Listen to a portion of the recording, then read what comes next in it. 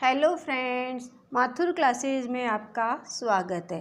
पिछले वीडियो में अपन ने सेकेंड ईयर का चैप्टर पढ़ा था थ्री फ़ेज़ इंडक्शन मोटर उसके अंदर अपन ने पढ़ा था सिंक्रोनस स्पीड और रोटर स्लिप स्लिप के बारे में अपन ने पढ़ा था। भाई स्लिप का फॉर्मूला क्या होता है? रोटर फ्रीक्वेंसी के बारे में पढ़ा था। भाई रोटर फ्रीक्वेंसी का फॉर्मूला क्या होता है? सिंक्रोनस स्पीड का फॉर्मूला अपन ने देखा था। एन एस बराबर एक सौ बीस F upon P. Rotor slip का फॉर्मूला देखा था। एस बराबर N S minus N R upon N S. अगर परसेंटेज में निकालते हैं तो उसको हंड्रेड से मल्टीप्लाई करते हैं। और तीसरा अपन ने पढ़ा था रोटर फ्रीक्वेंसी के बारे में कि एफ़ आर बराबर एस इंटू एफ़ इनके बारे में अपन ने पिछली वीडियो में पढ़ा था। इसके बारे में आपको देखना है तो नीचे दी गई लिंक को ओपन करके आप देख सकते हैं। आज अपन पढ़ेंगे रोटर कॉपर लॉस के बारे में। किसके बारे में पढ़ेंगे? रोटर रोटर कॉपर लॉस के बारे में अपन पढ़ेंगे। जिसको हिंदी में अपन कहते हैं रोटर ताम्र क्षति लॉसेज के बारे में अपन ने पहले भी मोटर और जनरेटर वाला चैप्टर पढ़ा था डीसी मोटर और डीसी जनरेटर वाला, उसमें अपन ने लॉसेज के बारे में अपन ने पढ़ा था। इसके अंदर अपन पढ़ेंगे रोटर कॉपर लॉस कि। भाई रोटर कॉपर लॉस किससे कहते हैं? किसे कहते हैं कि रोटर के अंदर क्या होता है? चालक और वाइंडिंग होती है। उसके अंदर प्रतिरोध के कारण क्या है कि विद्युत क्षति होती है। तो उसको अपन रोटर ताम्र क्षति कहते हैं। इसकी अपन डेफिनेशन लिख लेते हैं। क्या लिखते हैं? रोटर चालकों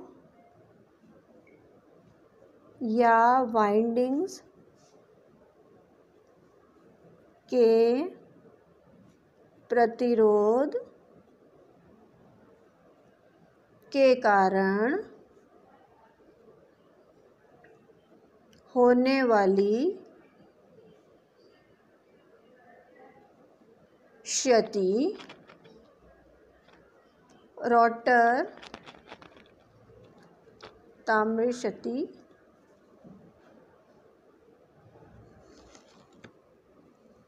कहलाती। कि भाई, अब प्रतिरोध आपको पाया है कि प्रतिरोध की यूनिट क्या होती है? आप सभी को पता है कि प्रतिरोध की यूनिट ओम होती है। क्या होती है? प्रतिरोध की यूनिट ओम होती है। तो कॉपर लॉसेज की डेफिनेशन हो गई। अब इसका फॉर्मूला देख लेते हैं कि रोटर कॉपर लॉसेज का फॉर्मूला क्या होता है?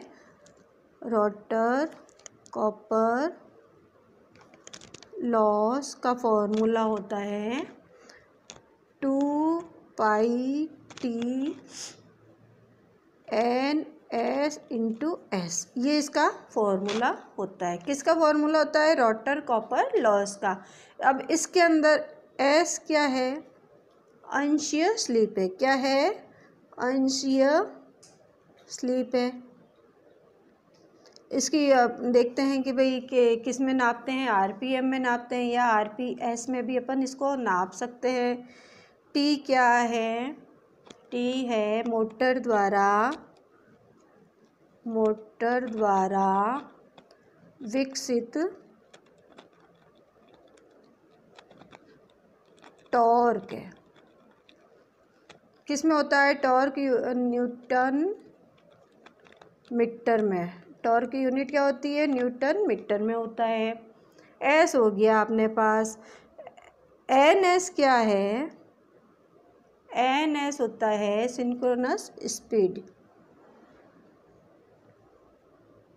सिंक्रोनस गति। ये भी किसमें होती है? आर पी एम में होती है। आर पी एम में ये भी होती है। आर पी एम या आर पी एस या R P S revolution per second ये होती है इसका सूत्र। अब ये सूत्र इधर तो अपन ने ज्ञात कर लिया। अब इसमें ज्ञात करने के लिए अपन को टॉर्क भी चाहिए। तो टॉर्क किसे कहते हैं अपन? टॉर्क के बारे में अपन देखते हैं। क्या है? Torque. T O R Q U E torque. ये अपन ने छोटी क्लासों में भी देखा है कि भाई टॉर्क किससे कहते हैं कि कई बच्चे पहले छोटे होते थे तो बच्चे होते थे तो एक धागा लेके उसके आगे पत्थर बाँध के उसको अपन गोल गोल गोल गोल घुमाते थे। तो वो क्या है कि टॉर्क वाली स्थिति में घुमाव बल पैदा होता था, उसे अपन टॉर्क कहते हैं। तो टॉर्क किसे कहते हैं? किसी इंडक्शन मोटर का टॉर्क वह घुमाव बल है जो मोटर की शाफ्ट के द्वारा किसी लोड पर आरोपित किया जाता है। टॉर्क कहलाता है। अपन टॉर्क की डेफिनेशन भी लिख लेते हैं। क्या है? किसी इंडक्शन मोटर का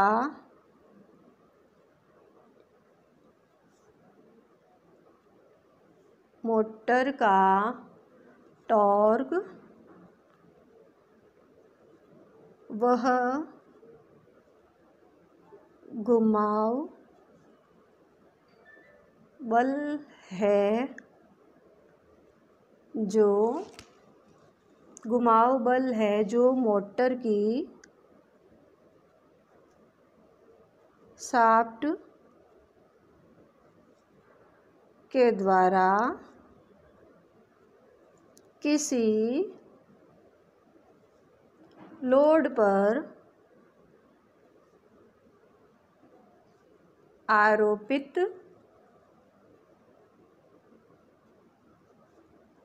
किया जाता है, वह टॉर्क कहलाता है। अब टॉर्क की यूनिट क्या होती है? या अपन यूनिट क्या या इसको कहते हैं मात्रक। तो टॉर्क का मात्रक क्या होता है? टॉर्क का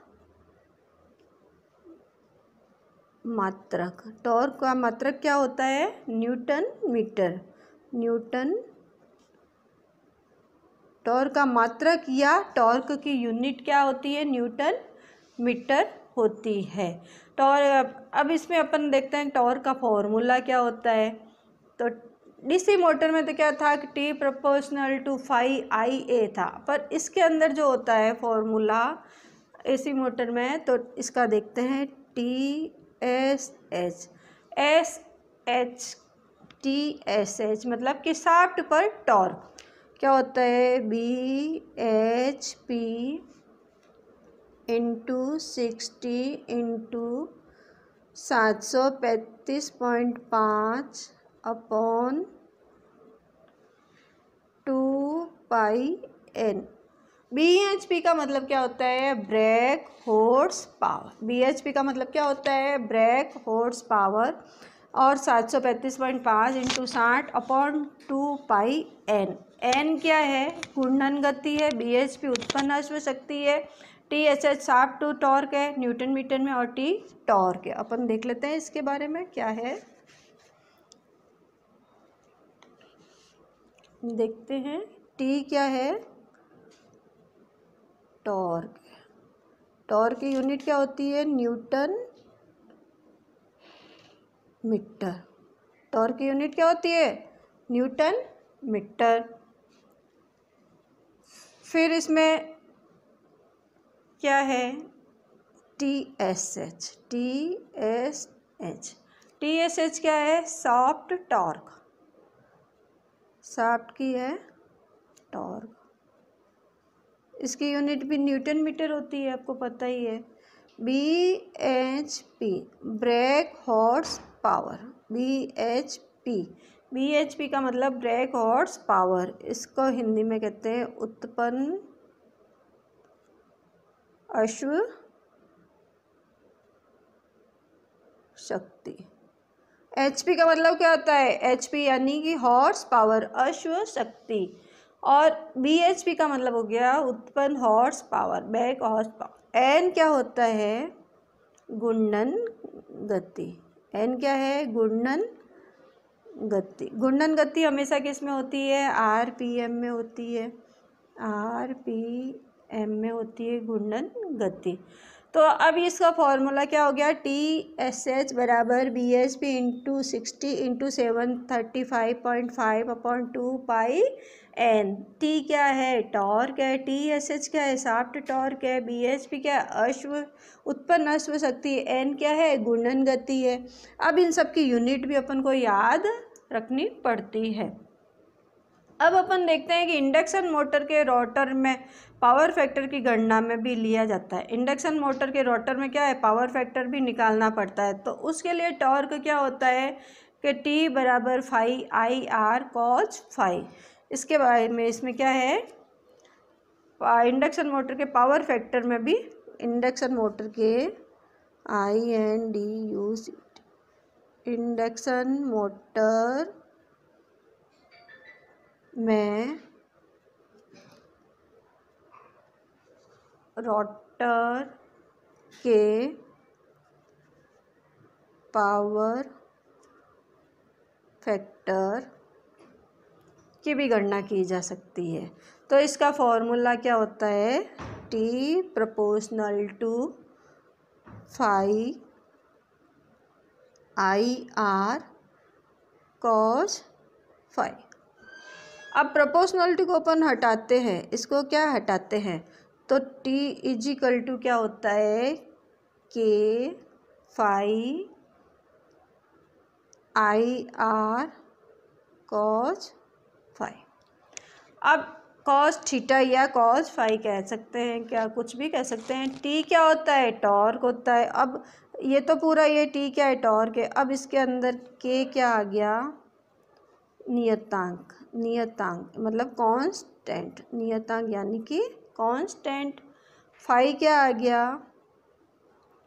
प्रतिपोल स्टेटर चुंबकीय फ्लक्स क्या है फाई प्रतिपोल प्रति पोल स्टेटर चुंबकीय फ्लक्स फ्लक्स की यूनिट किसमें होती है? वेबर में। किसमें होती है? वेबर में। आई आर क्या है? आई आर क्या है? रोटर करंट है। Rotor current. करंट की यूनिट क्या होती है? एम्पियर में होती है हमेशा। तो रोटर करंट कर दिया। अब कॉज फाई क्या है? कॉज फाई क्या है? कॉज फाई या कॉज थीटा को क्या है ये? रोटर का पावर फैक्टर। रोटर का पावर फैक्टर। क्या है कॉस फाइव रोटर का पावर फैक्टर है। तो इसके बाद तो पावर फैक्टर का हमेशा वैल्यू क्या होती है? आर अपॉन जेड होती है। कॉज फाइव का फॉर्मूला क्या होता है? R upon Z power factor का फॉर्मूला होता है ये। तो अपन क्या है कि इससे पावर फैक्टर का मान भी निकाल सकते हैं। अब इसके आधार पर अपन एक क्वेश्चन करते हैं। क्वेश्चन आता है कि 1500 आरपीएम घूर्णन गति वाली पाँच अश्व शक्ति की स्क्वायरल केज मोटर के टॉर्क की गणना कीजिए। क्वेश्चन अपन देख लेते हैं। क्या क्वेश्चन है? 1500 आरपीएम घूर्णन गति घूर्णन गति वाली पाँच अश्व शक्ति। अश्व शक्ति की स्क्वायरल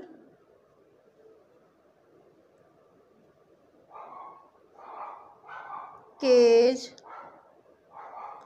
मोटर पाँचों अश्वशक्ति वाली स्क्वायरल केज मोटर के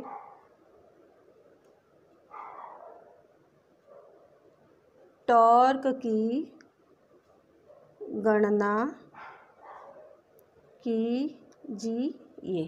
क्वेश्चन क्या है कि 1500 आरपीएम वाली घूर्णन गति वाली पाँच अश्व शक्ति की स्क्वायरल केज मोटर के टॉर्क की गणना कीजिए। अब अपन इसमें देख लेते हैं कि क्या क्या दिया हुआ है। पंद्रह सौ आर पी एम दिया है। सॉल्व कर लेते हैं अपन।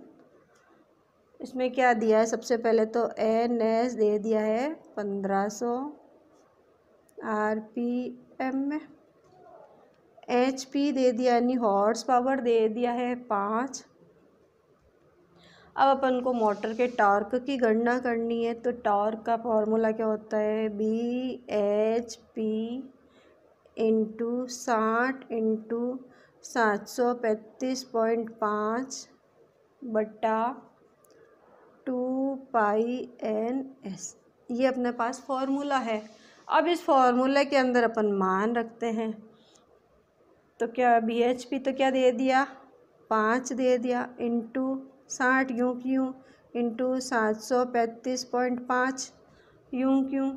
अब अपन टू इंटू पाई का मान हमेशा कितना होता है? तीन पॉइंट एक चार, या पाई का मान कितना होता है? तीन पॉइंट एक चार, या बाईस बट्टा सात। ये पाई का मान होता है। तो पाई का मान अपन ने रख दिया तीन पॉइंट एक चार। इंटू कितना? एन एस कितना दे दिया है? पंद्रह सौ। अब अपन इसको सॉल्व करते हैं। अब अपन क्या कैलकुलेशन करते हैं? सबसे पहले करते हैं पाँच इंटू साठ इंटू सात सौ पैंतीस पॉइंट पाँच इजिकल टू कितना आया? Two two zero six five zero. अब अपन नीचे वाली संख्या को करते हैं। Two into three point one four into one five zero zero तो इजिकल टू कितना हो गया? नाइन फोर टू ज़ीरो अब अपन इसको डिवाइड कर देते हैं। किस तरह से करते हैं? Two two zero six five zero divided nine four two zero तो इसका कितना आ गया? Twenty three point four. तो इसका सॉल्व करने से कितना आ गया? Twenty three point four two अब टॉर्क है तो टॉर्क की यूनिट क्या होती है? न्यूटन मीटर में। तो न्यूटन मीटर में। तो ये टॉर्क ज्ञात करने का फॉर्मूला क्या होता है? T equal to B H P into साठ इंटू सात सौ पैंतीस पॉइंट पाँच बट्टा two pi N S B H P अपने को पाँच ऑर्ड्स पावर दी है, साठ अपने को फॉर्मूले में, सात सौ पैंतीस पॉइंट पाँच अपने पास फॉर्मूले में टू अपॉन टू कर दिया इंटू पाई का मान हमेशा थ्री पॉइंट वन फोर होता है इंटू एन एस कितना दे दिया है? पंद्रह सौ। अब अपन इसको सॉल्व करते हैं तो इतना आता है, इसमें डिवाइड करते हैं तो इतना आता है।